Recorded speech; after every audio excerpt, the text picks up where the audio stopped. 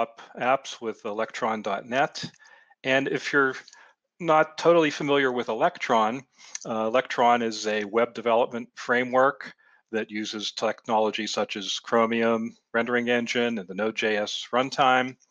And one of the main advantages of Electron is it allows you to target uh, native applications for Windows, OS X, and Linux.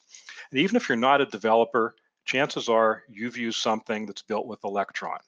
Uh, for our .NET community, I think Visual Studio Code would be at the top of that list, but also other products like Slack, Discord, Skype, dozens others that are not listed here.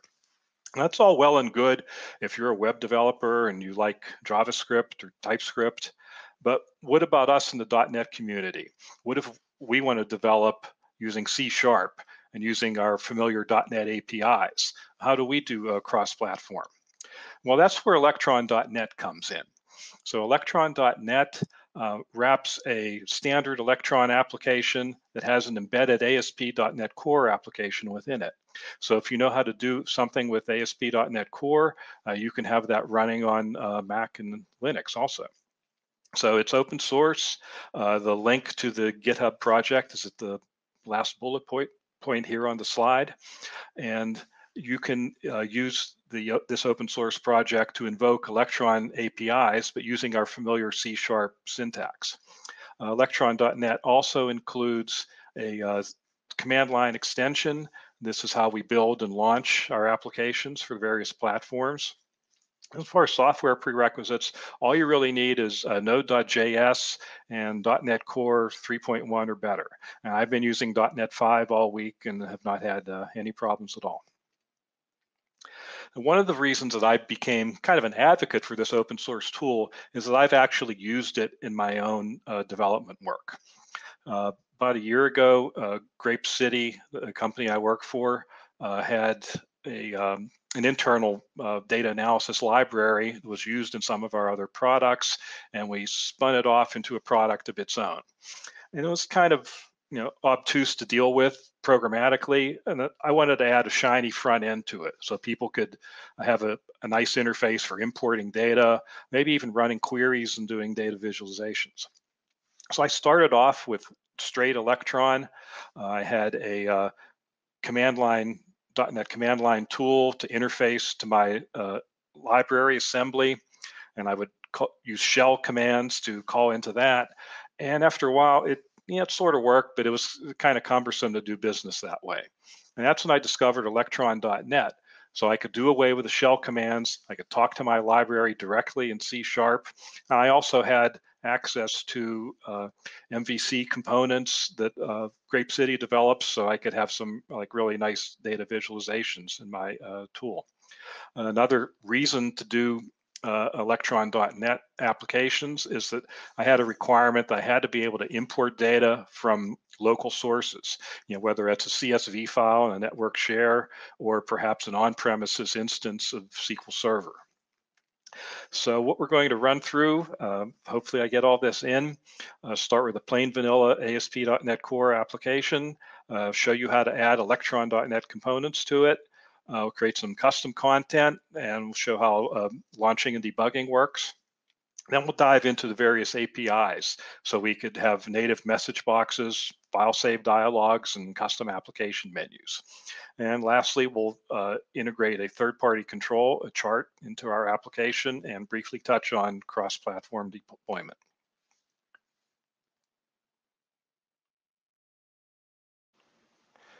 So I'll begin with just a plain blank terminal. Create a new directory, cd into it, and I'll create my app by doing .NET new web app. This will give me an ASP.NET Core application with Razor pages. And now I'll fire up uh, Visual Studio Code.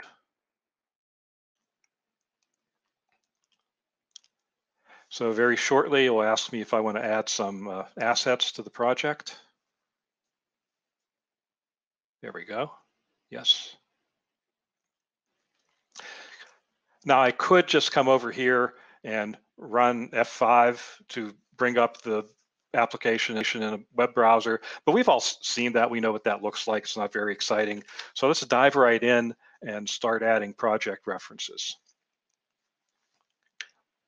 So I go to my CSproj file and I add reference to the Electron Net API package, which is on NuGet.org. This is the latest stable version. Then I'll go to my program file, add using statement for the package I just added. Come down here to create host builder. And here's the call that I need to make to actually use uh, the Electron configuration. And I like to make sure that I'm in development mode, just in case an exception gets raised, I have uh, access to the full uh, stack trace in my application. Now, go to startup. Again, I'll add using statement.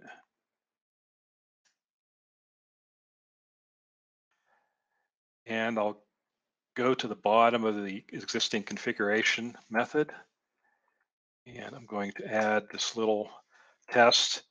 Uh, if I'm running as Electron and not in a standard web page, then I'm going to call the create window method, which I will insert right here. So I use the Electron API to asynchronously create a standard application window. And since it's the only window in my application, uh, as soon as it closes, I'm going to quit everything. Now, I need to add a terminal window for myself because this is the way that which we're going to uh, launch applications. So if you're a first-time Electron.NET user, the first thing you would do is .NET tool install electronnet.cli and make that global. I've already um, installed this so I'll just do a, do a list of my global tools so that you can see that it's there and it exposes a command called electronize. And I may be running through things kind of quickly, but don't worry, all the source code is on uh, GitHub so you could catch up later. Now, the first time I get my application started, it's just a one-time command to init, creates a manifest file. Now I can use electronize to start the application. Now, the first time I run it may be a little slow, but subsequent runs will be much faster. So now when this actually launches, I will see a application window that looks like a, a regular Mac window, and it'll have the uh, custom, or not the custom, but the standard boilerplate uh, welcome page for ASP.NET Core.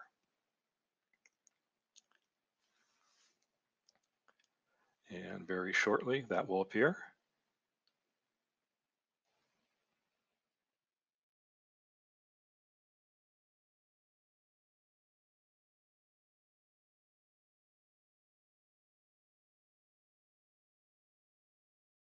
And one of the things you need to do is make sure you save your files before you start it. So that's, yeah, let's just do that. Okay, now I've saved everything. Let's try that again. Normally when you F5, it'll do that for you, but because we're not using F5, you have to be extra vigilant about uh, saving your work.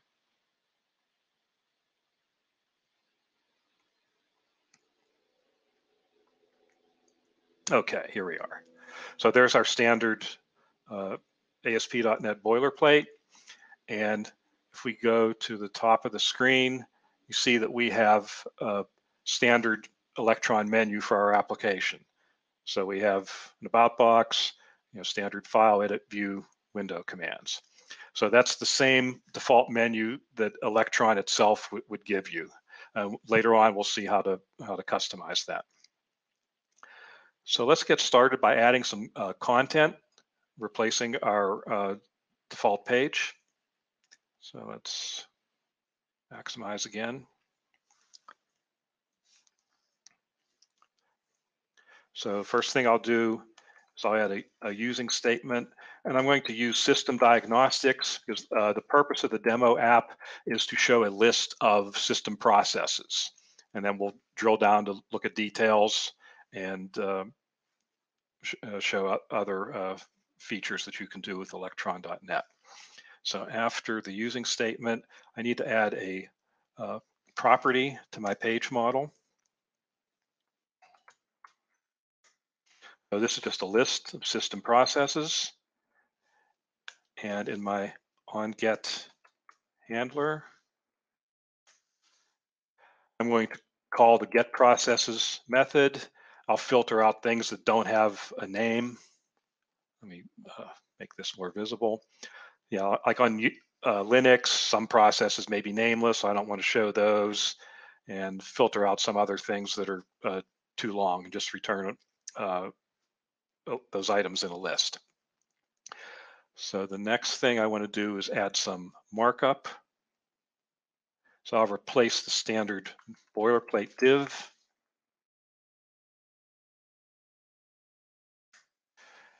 With a uh, bootstrap table with three columns. And for each process, I show uh, item ID, amount of memory it uses, and also process name. And I have a try catch block there just in case. I prefer the module name because uh, some operating systems truncate the process name.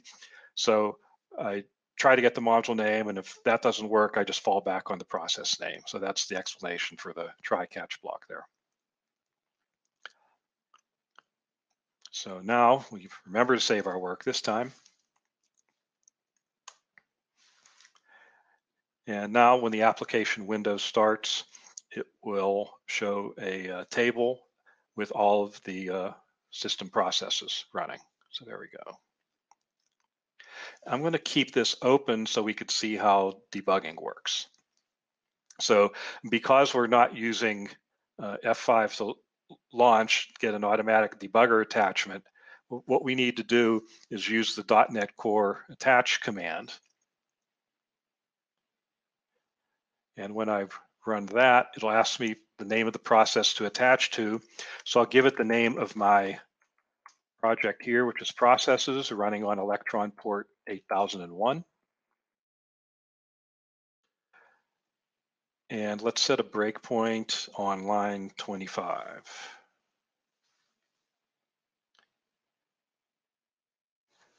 So in order to trigger that breakpoint,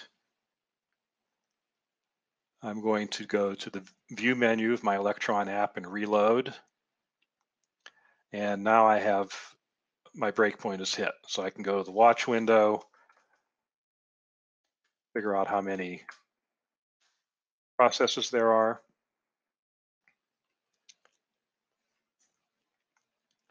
So now I'll uh, close this application. Okay. Now, typically when you have a uh, list of things like that in an ASP.NET Core application, you expect to be able to click on an item and go to its detail view.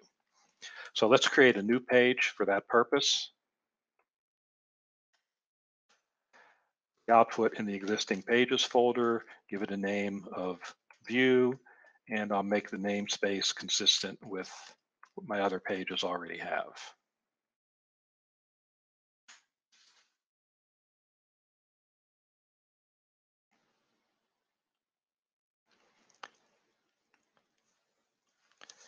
Okay, now I go to the code behind for my new file.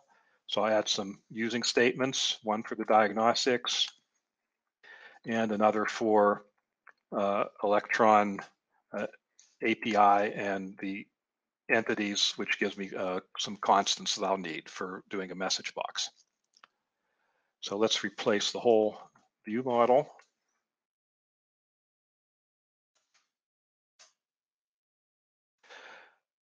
So this will give me, well, first off in the constructor, I define a list of properties that I'm interested in. So then my onGet handler will take an integer ID. So I'll look up the process by the ID. If not found, I go to the not found page. I'm going to add one more item here. And this will be a post handler. So before I kill process, I want to ask the user if they really want to do that. So I define some message box options like the buttons, which one's default, which one's cancel. Then I call the show message box async method. And if that response is the default one, I kill the process, go to the home page. Otherwise, uh, just stay where I am. So now let's add some markup to the view.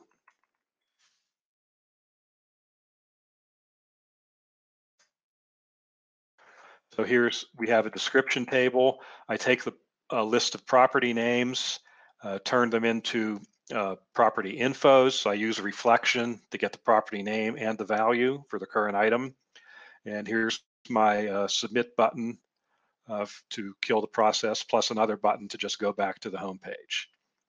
Now to tie this all together, I'm gonna make one change to my home page, go where I have the static item ID, and I'm gonna make that uh, an anchor that goes to my view page and passes the correct ID number. So now remembering to save my work. Now I'll start.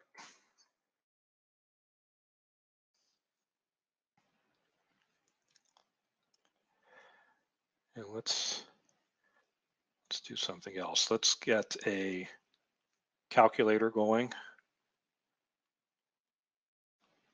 Reload. All right, so there's my calculator. So now when I click the ID, I go to the detail. If I say no to the kill, it stays there.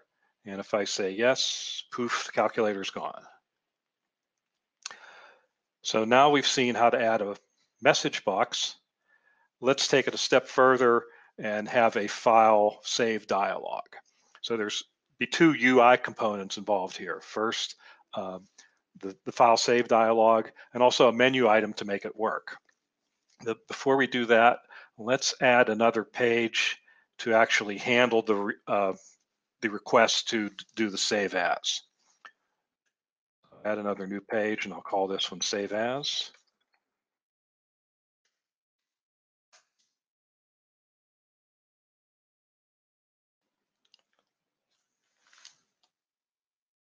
My standard using statement, and I'm going to replace the on get handler with async on get handler, which is going to be passed full path name that's selected by the end user. And to that path name, I'm going to write out my process data in the CSV file format. So now the real work begins with the, uh, the menu customization. So let's go back to the startup module and add appropriate using statements. I do interop services because I need to know if I'm running on a Mac or not. And we'll see why shortly. So let's create menu. We'll add a routine to create a menu and we'll add one line to call it.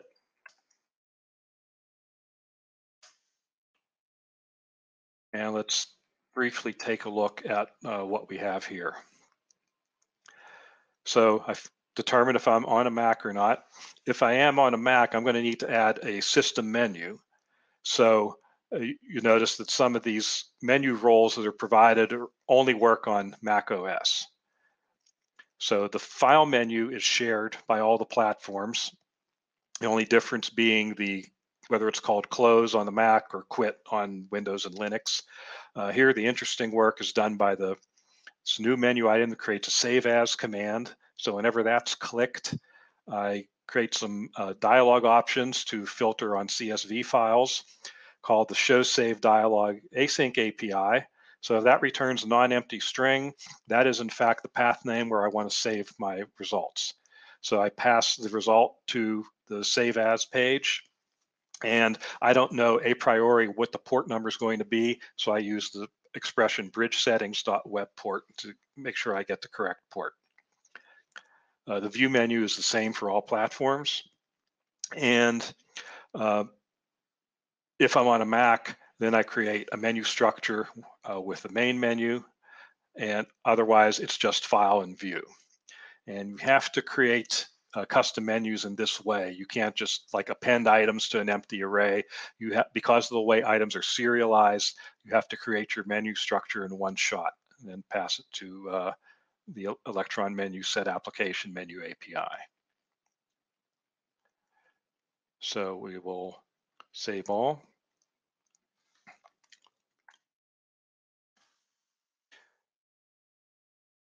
Now this time we'll see that we have a different uh, application menu. Okay. So we only have file and view in addition to our main menu, but now file has a save as item. So when I pick that, it gives me a, a Macintosh file save. So I'll call this snapshot.csv. Close that, go back to Visual Studio Code.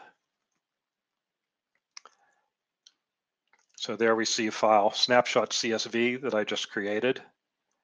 And if I right click open preview, there's all my data in the CSV form. And in case you're wondering how I got this snazzy view of a CSV file, uh, there's an extension that I uh, created and published to the uh, Visual Studio Code Marketplace called Excel Viewer. So you want to check that out if you have time. Uh, it also handles Excel spreadsheets as well. Okay, uh, back to the um, item at hand. And the last thing uh, we're going to try to do is create uh, a page that has a custom control in it. So we'll create those pages, call it charts. And very quickly try to get through uh, the remaining steps. So we need another uh, package reference. This is for the uh, component one, uh, which is a Grape City brand C1 ASP.NET Core MVC package. Then we go to view imports where we add our tag helpers for that package. Then go into the layout and we need custom scripts and styles go with it. While I'm here, I don't really need the privacy link. I'm just going to rename that to chart.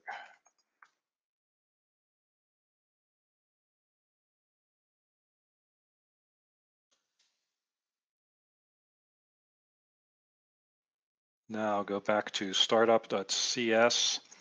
And because the way I created this application, .NET New Web App, uh, I don't have all the uh, proper endpoints that I need to use that MVC control. So I'll end those or add those now. So if I had created a canonical MVC app, I would have gotten this, but because I went the Razor Pages route, I have to add this myself. That's the reason for that. So now we go to the uh, chart code behind. Diagnostics, replace the model.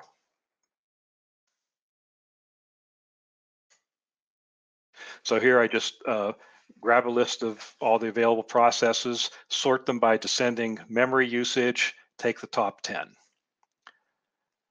Then I'll go to my markup and add some markup for the component one chart.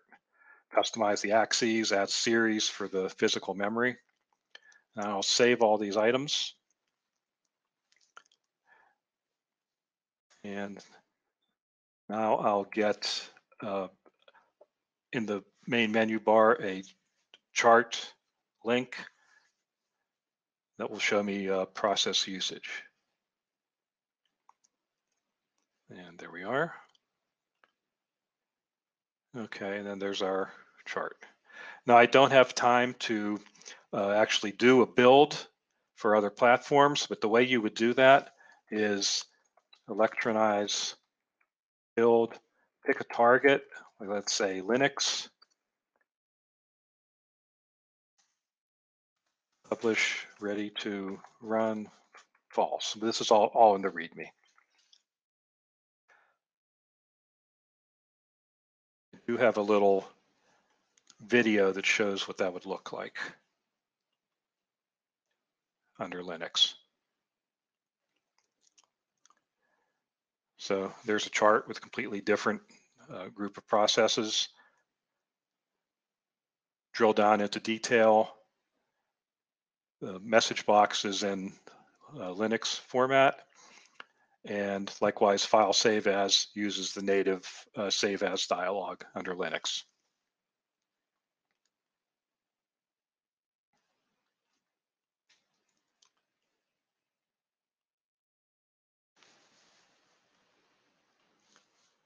So I think we got through everything. Uh, if you're curious about the chart control and other components that Grape City offers, uh, you can go to grapecity.com slash component one. Uh, have any kind of control, any kind of control for just about every .NET platform uh, with support for .NET 5. And if you'd like to see the uh, source code for this demo, go to my GitHub page at uh, slash jjuback. So I think at this point we're ready to take some questions. Yes, I was just waiting you to finish up. So thank you so much, John, for for presenting. Let me bring up the questions here. We have a we have a couple questions. Um, Coding with David wants to know: Does Electron.net work with Blazor WebAssembly? Yeah, I have not actually experimented with that, but okay. I I know people are using it with Blazor. Okay. Whether it's server side or client side, uh, I I'd have to do a little more research. But that's one of my next items on my to-do list is to uh, have a Blazor version of the you know this particular uh, presentation and, and, blog about it. Yeah, I think a lot of you know based on the feedback we've gotten from other sessions uh, for in the entire conference, people are really looking ways to get into Blazor. So mm-hmm. uh, so that's great that you know that we that we that, that we have flexibility to do something like that. All right, let me look at the other question. The next question is from Admir wanting to know uh, can we in Electron app get rid of standard browser hotkeys? For example, F5 backspace right click. Does Electron depend on OS installed browser and its version? Uh, I'm not sure about the the hotkeys how you would override okay. those. Not something I've I've tried to do. Well, well, so let's look at it this way. It has what is the what is the typical approach for something like that? Would you just you know we just let it uh, let Electron just handle whatever the operating system offers, or something different? Yeah, typically you would just stick with the you know the norms of the operating okay. system. But that's why like the the menus are defined in such a way, mm-hmm. like even the ones I customized. Uh, if you use the menu role item, it'll choose the appropriate hotkey for the appropriate platform. So you don't have to think about well, what's the hotkey on Windows versus gotcha. the hotkey on Linux. Sure, that's great to know. Thank you. All right, Liz, we have two more questions after this one. All right, the next question is uh, from Sridhar. Does the Electron app take care of hosting the web server too? What if I have multiple Electron apps, and is there is this and if there's a port co- um, conflict?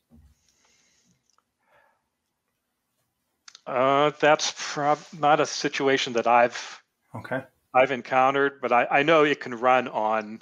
I think it, by default it'll just pick another port number to use. Mm-hmm. Like if I were to run this demo twice, I don't think I would have collisions. I would have two separate versions, one on 8001, one on 8002. Whether that would, I know that's possible, like whether it require any additional configuration, I'm not certain right now. Gotcha. Yep. And then the last question we have from uh, Andrew Nonsenko, who was actually a speaker in the conference earlier. So it's great that our speakers are actually watching the content as well. He says, Great topic and talk. Thanks, um, John Juback. A question Did you have a chance to try Chromely yet? Uh, Chromely.org. And if so, would you still prefer Electron.net over Chromely for a future project? In my have, he says, in my in my opinion, we need a pure .NET Electron like shell for Blazor desktop apps. Mm-hmm. yeah, I have not uh, tried Chromely at all, so I have to have to pass on that question. Cool. No, no worries. Uh, I think that's it. We are ready for our next um, guest here. So, John, thank you so much for taking uh, the time to um, share your knowledge and your passion with the community. Oh, thank you very much. Thank you so much.